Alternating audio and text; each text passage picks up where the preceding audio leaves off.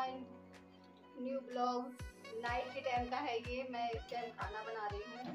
सबका मन किया कि हाँ कुछ अलग बनाया जाए तो मैंने सोचा कि इस टाइम पूरी सब्ज़ी बना ली जाए। तो मैंने कहा आप लोगों को भी शेयर किया जाए, ताकि आप लोग भी खा सकें।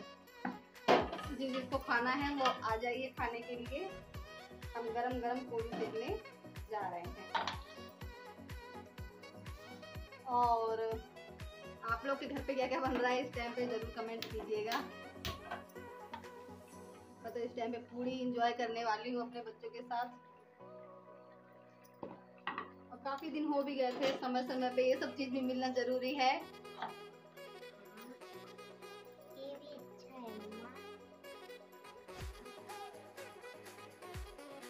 मेरे बच्चों को भूख भी लगी है बहुत तेज। कह रहे हैं मम्मा खाना दो मम्मा खाना दो भूख लगी है। स्कूल से आते हैं तो एक बार खाना खा के फिर इस टाइम तक वैसे नहीं खाते हैं, खेलने पे, पढ़ने में रह जाते हैं। तो तो सब बना रहे जल्दी से। अभी तक बैठे थे, अपनी माँ के पास गपशप मार रहे थे, बात कर रहे थे तो इस टाइम पे लाइट भी बहुत धीरे है, क्योंकि गाँव में लाइट ठीक से रहती भी नहीं है, और जो रहती है तो बहुत हाफ़ रहती है। बहुत ज़्यादा धीरे है डिम लाइट आ रही है।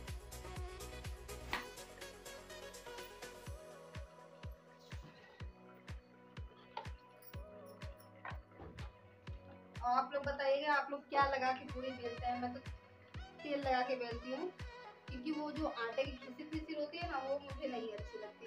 इसलिए मैं तेल ही लगा के बेलती हूँ पूरी। मेरे बेटे को लगी है बहुत तेज भूख। आके बगल में खड़े हैं कि मम्मा जल्दी से पूरी दो, खाएँगे।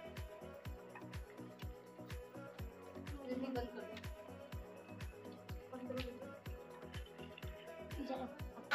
हमने इतनी पूरियाँ बेल के रख ली हैं और तेल हमारा काफ़ी गर्म हो चुका है। तो हम पूरियाँ सेक लेंगे देखिए तो बच्चों को बहुत तेज भूख लगी है वो लोग वेट कर रहे हैं। और देखिए आटा मैंने दिखाया है।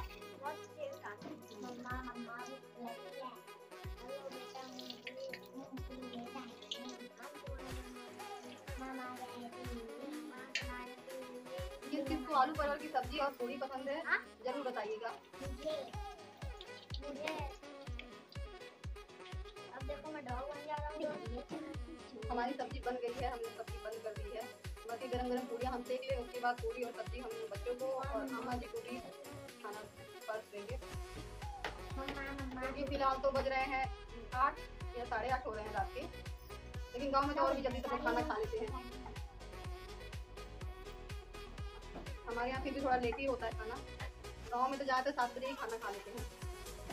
लेकिन आज जल्दी हो रहा है। क्योंकि सबको भूख काफ़ी लगी है। बहुत ज़्यादा भूख लगती है। बहुत ज़्यादा भूख लगती है मेरे बेटे को। और मुझे भी।